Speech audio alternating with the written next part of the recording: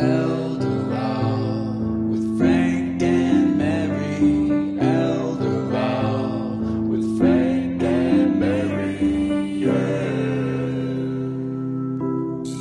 Frank, Frank, hurry. Mr. Bergeron's on. Don't forget the popcorn, Frank. Coming, dear.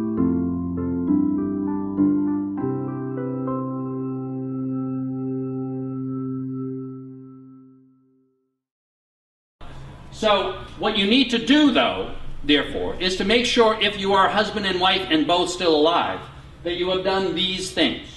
Make sure that you don't have all of your assets in joint names. Because if you do, if one of you dies, the other one inherits all the assets, and then she's stuck like Mary and Mary Jr. There's nothing that she can do to protect those assets unless she gives them away to an irrevocable trust or to her daughter and waits five years.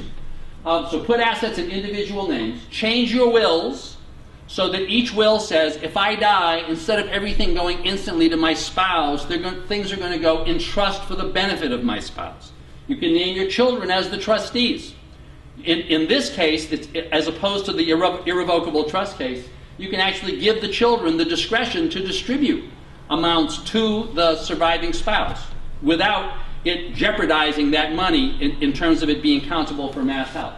Uh, you, can name you can name your children. Um, and then the third thing that you need to do is have a power is have powers of attorney from each of the two spouses, so that if one of the two of you does have a stroke or gets sick or gets cancer or whatever, and is going to die, you can make sure that all the assets that you have are all shifted to that spouse. Because the day after that spouse dies, all the assets are going to be safe for the benefit of the surviving spouse. So the message is if you if you are a couple, as long as you've taken care of these things, you don't have to plan ahead of time. You don't have to lose sleep about this, this possibility of Alzheimer's coming, right? Because all of the shifts that I just talked about can be done the day before Frank qualifies for Mass Health. Next slide. Um, so those were those are the early stage things. Now I'd like to talk a little bit about. I'd like to have these folks discuss um, what the early warning signs are of Alzheimer's. You know, you lost your keys again. But is, is, this it? Is this like is this like the end? Right? What are the what are the triggers that may make you concerned? And what do you do if you're concerned, other than hide? Because I guess I just want to I want to turn it over to them. I just want to mention this. I think that what's so hard about Alzheimer's disease, it's starting to change.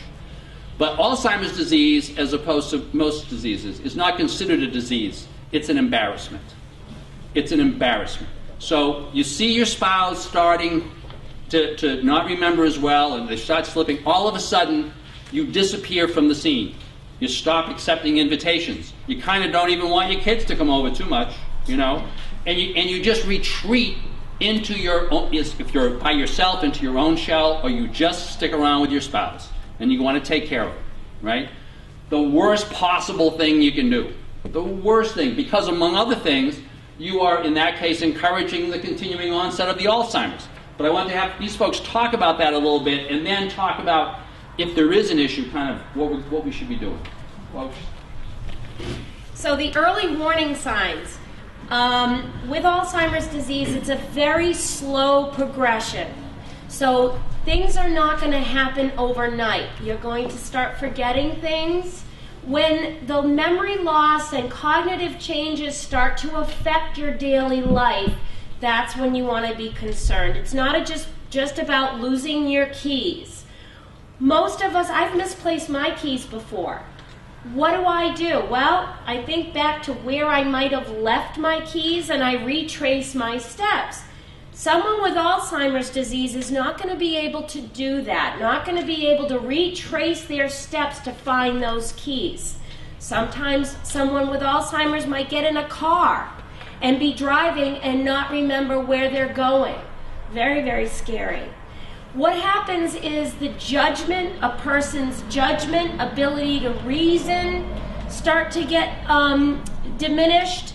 The ability to do familiar tasks, like brushing your teeth. If you ever thought of how many steps it takes to brush your teeth, a toothbrush, get the toothpaste, put the toothpaste on the toothbrush, brush your teeth, There's a lot of steps involved, and with Alzheimer's disease, we start to forget that. So, familiar tasks, poor judgment, someone you know and love might not be able to carry out the ability to pay bills anymore. You see their mail start piling up. Credit creditors calling because bills are not paid or bills are overpaid. So managing of finances. But the question comes down to what Arthur was talking about about what do you do next? No, you don't step back. You go out and reach out for help. The first step you want to do is contact your physician because the physician is the one that has the key to all the other doctors that may get involved for testing. You want to get a true diagnosis done because there are so many things medically that can look like Alzheimer's or other dementia and are treatable. So you may be going to the doctor with a some sort of an infection that you may not even know you had. Treated with antibiotics, you're fine again. You may have untreated depression. Once the depression's treated, you might start to get your memory back a little bit. Um, vitamin deficiency, um, a drug reaction. So if you're taking a new medication and all of a sudden you're starting to no- notice some confusion happening or some memory loss, your physician is where you want to start.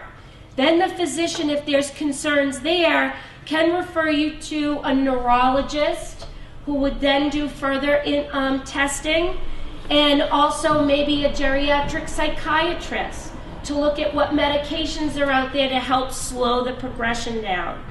So you definitely want to get a medical medical consultation. T- Tammy, if you're afraid to do that, you know, because you don't kind of want to talk to your doctor yet, even though you like your doctor, right? Is there somebody else you can talk to? I would say the Alzheimer's Association because What a great choice. Yeah, What because they're just they're they're going to help you get past the fear of what you're going to go through. Basically, what I tell folks is the more you know, the more empowered you are to direct your care. So, if in fact you may come down with a diagnosis of Alzheimer's, the earlier you get it diagnosed, the more empowered you are to take control of what happens down the road so you can actually plan out your care. And that brings us to what a geriatric care manager. Next slide. We talked, about, doctor, we talked about neurology, geriatric. Talk about geriatric.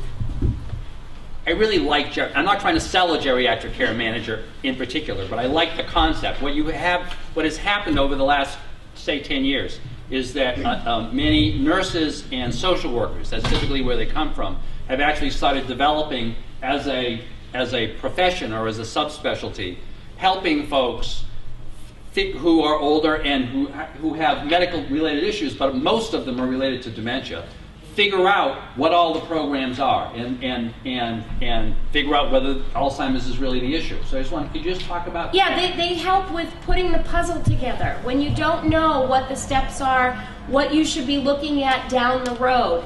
I, I, I think of it as a caregiver of someone with Alzheimer's. There's, there's a bridge of caregiving, and if you put up the supports in place, and a geriatric care manager can help you do that, can help put up those supports so that you're looking further down the road. And that brings us to an important piece of what we had all talked about the socialization, okay? Socialization of an individual with Alzheimer's or dementia is huge. There are medications out there that slow the progress of the disease, but socialization, engagement, and that's what I do. Um, did you want to talk about the care I want agreement? to, want to keep here for a second. Okay. Susan, could you just talk a little bit about, at this point also, this may be the good time to be talking to somebody um, from Baypath. Um, because Baypath is a free service, is it It's not? free, Right. A yeah. free service. So it's like the Alzheimer's Association. Can you just talk about what you would do if they had called the Council on Aging and the Council on Aging had said, you really ought to talk to Baypath because you may have some of these issues, and talk a little bit about programs that might be available at this level? Sure, definitely. Has anyone ever called Bay Path before and talked to information and referral? I saw one. Oh, one. Well, I have our number. I can give it to you. Our Joanne and Karen are the front lines of information referral, and they know everything, and they can talk with you. They spend time talking with you to learn about what exactly you're needing. Um, so one of the thing, one of the big programs is, of course, our home care program for people who want to stay at home and wanting to learn about how do you get more care at home. Um, and we'll talk a little bit more about that in a little bit. And another big program that we have is um, a, the caregiver specialist program. So we have someone, uh, her name's Nina Sable. That is her main role is to assist caregivers with finding all the support needs that you may want to find out about.